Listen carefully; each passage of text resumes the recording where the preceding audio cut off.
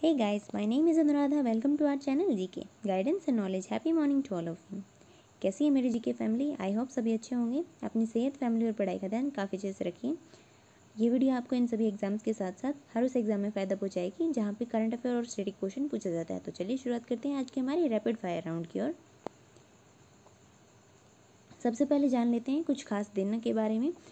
Second June को Telangana state formation day के रूप में भी सेलिब्रेट किया जाता है। मतलब कि इस दिन स्टेट है तेलंगाना है, वो एक नया स्टेट बन गया था। फिर क्या है? Global running day global running day running मुझे पर्सनली बहुत पसंद है। वो आप में से किस किस को पसंद है, आप बता सकते कमेंट सेक्शन के अंदर। आज ये डे भी है और साथ ही साथ एक और डे है, जिसे हम कुछ ज़्यादा इम्पोर्टेंस नहीं देते हैं शायद। और नेगेटिव नेगेटिविटी भी रखते हैं इनके प्रति। इंटरनेशनल सेक्स वर्कर्स डे ये जून टू तो को ही सेलिब्रेट किया जाता है।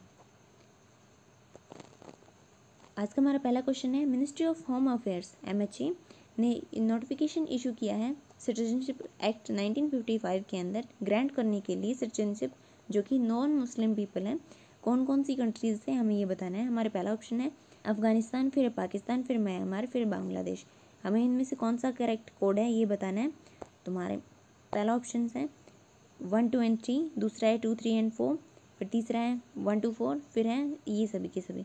तुम्हारा आंसर क्या होगा? हमारा आंसर होगा सी क्योंकि म्यांमार नहीं है इसके अंदर। इसके अंदर अफ़गानिस्तान, पाकिस्तान और बांग्लादेश है। चलिए जान लेते हैं इसके बारे में। ये आप मैप में देख सकते हैं। ये पाकिस्तान है, ये अफ़गानिस्तान है और ये बांग्लादेश है। इसके इन तीनों देशों से नॉन मुस्लिम कम्युनिटी है, उसको अलाउ किया गया है। तो जान लेते हैं। मिनिस्ट्री ऑफ़ होम अफेयर्स है। उसने नोटिफिकेशन इशू किया है। सिटीजनशिप एक्ट 1955 के अंदर 2009 के रूल के अकॉर्डिंग कि नॉन मुस्लिम पीपल हैं वो सिटीजनशिप के लिए अप्लाई कर सकते हैं जो कि अफ़गानिस्तान बांग्लादेश और पाकिस्तान से आए हैं। और तेरह डिस्ट्रिक्ट जो पाँच स्टेट हैं हमारे गुजरात राजस्थान छत्तीसगढ़ हरियाणा पंजाब उसके अंदर रह रहे हैं। हमारा दूसरा क्वेश्चन क्या है? रिसेंटली सुप्रीम कोर्ट है उन्होंने स्कोप बढ़ा दिया है section three zero four B का इंडियन पिनल कोड का। तो हमें बताना है ये किससे रिलेटेड है? ये है इसके पहला ऑप्शन है हमारा चाइल्ड प्रोटेक्शन दूसरा है डाउरी डेथ फिर है इन्वायरमेंट पॉल्यूशन फिर है प्रोटेक्शन ऑफ़ एस कम्युनिटी तुम्हारा आंसर क्या होगा? हमारा आंसर होगा बी क्योंकि ये डाउरी डेथ डेथ से रिलेटेड है। तो चलिए जान लेते इसके बारे में। Section three zero four B इसके अकॉर्डिंग कोई भी केस जो कि डाउरी डेथ के अंदर आता है, जिसके अंदर वुमेन है, वो उसकी डेथ हुई है, जैसे या फिर कोई भी बॉडी के अंदर इंजरी हुई है नॉर्मल कंडीशन के अंदर जो नहीं हो सकती है, उसके अंदर मैरिज के सात साल के अंदर। फिर क्या है? वो, उसने सफ़र की है, कोई भी क्रुएलिटी या हेरसमेंट अपने हस्बैंड या फिर उसकी फैमिली से, उसकी डेथ से पहले। डावरी के, डावरी से रिलेटेड डावरी डेथ है, वो फोर्टी परसेंट से फिफ्टी परसेंट हमारी कंट्री को, के अंदर देखने को मिली है नाइनटीन नाइन्टी से नाइनटीन नाइन्टी नाइन से टू थाउज़ेंड एटीन तक। 2019 के अंदर ही हमें सात हज़ार एक सौ पंद्रह केसेस देखने को मिले हैं जो कि रजिस्टर हुए हैं। जो रजिस्टर नहीं हुए हैं, उनके बारे तो हम आइडिया भी नहीं लगा सकते हैं। अगला क्वेश्चन क्या है हमारा?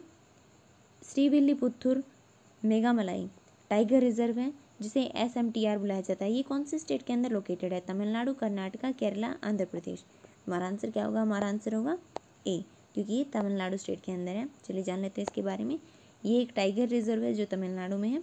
फिर ये है। ये एक बफर जोन की तरह काम करता है पेरियार टाइगर रिज़र्व के, से, के रिलेटेड और इसके अंदर एक्सेलेंट जेनेटिक एक्सचेंज देखने को मिलता है टाइगर का अन्नामालय रीजन से। अगला क्वेश्चन क्या है? बाल स्वराज कोविड केयर पोर्टल कौन से कमीशन के अंदर काम करता है?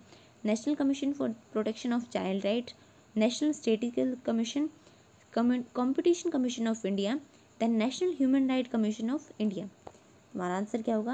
हमारा आंसर होगा ए चलिए जान लेते हैं इसके बारे में। रिसेंटली क्या हुआ है? National commission for protection of child right NCPCR जिसे हम इन शॉर्ट बोलते हैं, उसने एक्सटेंड कर दिया है, जो कि यूज़ किया जाता है बाल स्वराज कोविड केयर के लिए इस पोर्टल को, ताकि ट्रैफिकिंग ट्रैक किया जा सके। ट्रैफिकिंग नहीं, वो तो बहुत गलत चीज़ होती है। ट्रैक किया जा सके चिल्ड्रंस को, जिन्होंने अपने पेरेंट्स को खो दिया है। कोविड नाइन्टीन के टाइम पे। इसके थ्रू एनसीपीसीआर को क्या होगी? अपनी ड्यूटीज़ परफॉर्म करने में एक मॉनिटरिंग अथॉरिटी के तहत 109 के अंदर, जो कि है जुबलाइन जस्टिस एक्ट 2015 का हेल्प करेंगे। अगला क्वेश्चन क्या है हमारा? Right to freedom of speech and expression ये कौन से आर्टिकल के अंदर आता है? हमारा पहला ऑप्शन है article sixteen article seventeen article eighteen या फिर आर्टिकल नाइनटीन हमारा आंसर क्या होगा? हमारा आंसर होगा डी चलिए जान लेते हैं इसके बारे में क्यों न्यूज़ में है?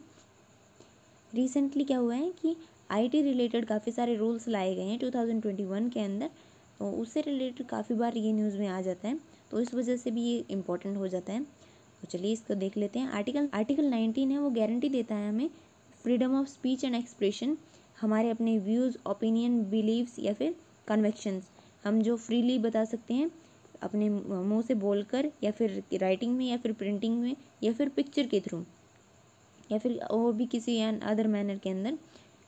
फिर क्या है? सेडिशन कर्नाटका के अंदर केस हुआ है सुप्रीम कोर्ट के अंदर। वहाँ पे दो चैनल्स हैं, उनके ऊपर बार बार फोर्सफुली उन्होंने सुप्रीम कोर्ट के अंदर अपने पिटीशन डाली कि हमारी जो freedom of speech and expression है, उसको उसका हनन किया जा रहा है। तो उससे रिलेटेड भी यही न्यूज़ में है तो जान लेते हैं, हम सेडिशन के बारे में भी देख लेते हैं। सेडिशन ये एक नॉन बेलेबल ऑफेंस है इसके अंदर। पनिशमेंट दी जाती है सेक्शन 124 ए के अंदर। इसके अंदर क्या है?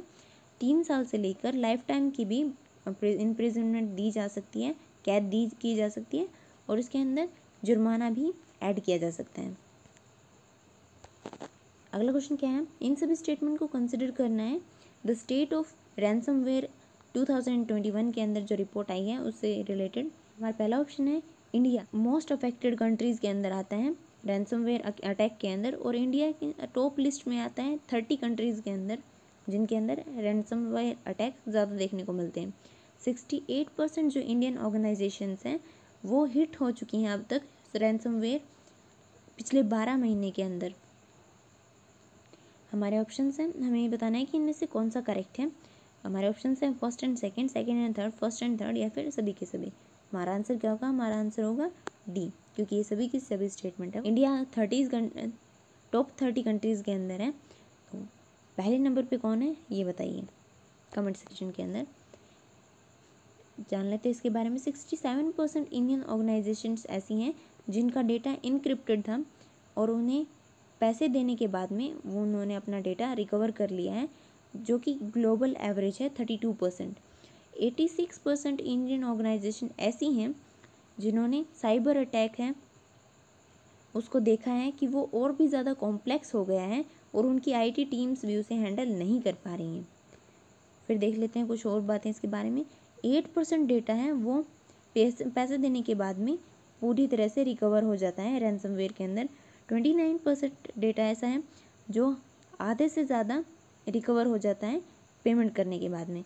और sixty five percent average amount है डेटा की रिकवर होने के बाद में पेमेंट के बाद में। रिकवर होने की पेमेंट के बाद में। अगला क्वेश्चन क्या हमारा? एम बी टैग इंडिया का फ़र्स्ट इंडिजिनियस टेम्परेचर डेटा लोअर डेवलपमेंट है। ये ऐसा दिखाई देता है। ये किसके द्वारा बनाया गया है, हमें ये बताना है? आईआईटी रोपड़ कानपुर रुड़की या फिर दिल्ली हमारा आंसर क्या होगा? हमारा आंसर होगा आईआईटी रोपड़ आईआईटी रोपड़ है, उसने डेवलप किया है एम बी टैग को, जो कि हमारा first indigenous temperature data logger है, जो कि कोल्ड चेन मैनेजमेंट के अंदर काम आएगा। और ये डिटेक्ट कर कर सकता है, ये डिटेक्ट कर सकता है टेम्परेचर को माइनस फोर्टी से लेकर प्लस एटी डिग्रीज़ के अंदर, किसी भी टाइम जोन के अंदर नाइन्टी डेज़ के लिए, एक बार चार्ज होने के बाद में, जैसे कि और मार्केट के अंदर डिवाइस अवेलेबल हैं और इसके अंदर डेटा, इसके अंदर डेटा है, वो थर्टी से लेकर सिक्सटी डेज़ की ड्यूरेशन के लिए रिकॉर्ड किया जा सकता है। इसके अंदर,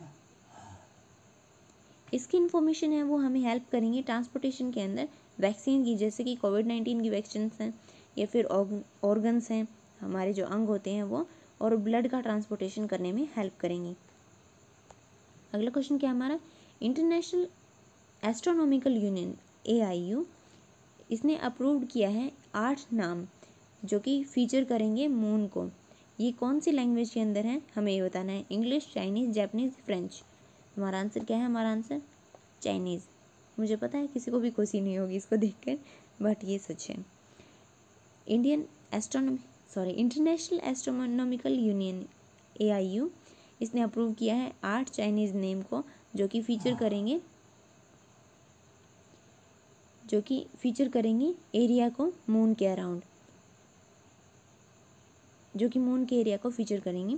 लास्ट ईयर क्या हुआ था? चाइना चाइना का जो स्पेस क्राफ्ट है चैंग ई फाइव प्रॉब ये लैंड किया था इन प्लेसेस के आसपास में और कलेक्ट की थी इसने सैंपल और फिर लूनर सरफेस लूनर सरफेस की सैंपल कलेक्ट करके उन्हें धरती पर भेजा था। और चाइना है वो 2010 से ही जोग्राफिकल एंटिटीज़ को नाम दे रहा है। अगला क्वेश्चन क्या हमारा? वाइट म्यूनामेंट ये न्यूज़ में देखने को मिलता है। इसके अंदर बताया गया है कि फोर थाउज़ेंड ईयर्स पहले मेमोरियल बनाया गया था, जो कि लोकेटेड है कौन सी कंट्री के अंदर? इसराइल सऊदी अरेबिया अमेरिका या फिर सीरिया हमारा आंसर क्या होगा? हमारा आंसर होगा सीरिया जान लेते हैं इसके बारे में थोड़ा और। एक नई स्टडी के अकॉर्डिंग बताया गया है कि फोर थाउज़ेंड ईयर पहले वॉर मेमोरियल बनाया गया था, जिसे वाइट मोनामेंट नाम दिया गया है, सीरिया के अंदर बनाया गया था, ताकि सोल्जर्स हैं, उनको ऑनर किया जा सके, जो कि बैटल जो लड़ाई हुई थी, उसके अंदर मारे गए थे। फिर क्या है? वाइट मोनामेंट है, वो कुछ सालों पहले देखने को मिला था एग्जीक्यूट किया गया था मतलब कि एक्सिक्यूट किया गया था, निकाला गया था, खोजा गया था। और इसके अंदर पाए गए थे जो एडल्ट मेल्स हैं, उनके ब्यूरल उनके अवशेष पाए गए थे। और माना गया है कि ये मेमोरियल है, वो कम्युनिटी डेड के बारे में बताता है, ना कि सिंबल के रूप में जो विक्ट्री हासिल हुई थी उनके एनिमीज़ के ऊपर। अगला क्वेश्चन हमारा लास्ट एंड फाइनल क्वेश्चन है ये। लिथोरिया मीरा, ये डिस्कवर किया गया है रेन फॉरेस्ट के अंदर न्यू गिनिया के अंदर। ये क्या है? ये एक स्नेक है फ्रॉग है लिजार्ड है क्रोकोडाइल है। हमारा आंसर क्या होगा? हमारा आंसर होगा बी क्योंकि ये फ्रॉग है। ये ऐसा दिखाई देता है। एक टीम है ऑस्ट्रेलियन साइंटिस्ट की, उसने इसे, इस नई स्पीसीज़ को डिस्कवर किया है फ्रॉग की रेन फॉरेस्ट के अंदर न्यू गिनिया के अंदर।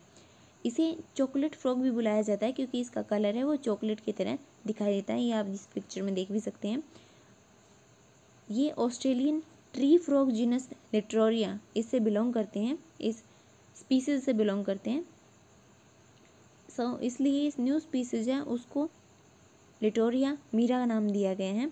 ये क्लोजेस्ट ये क्लोजेस्ट स्पीसीज हैं ऑस्ट्रेलियन ग्रीन ट्री फ्रॉग से सो दिस इज़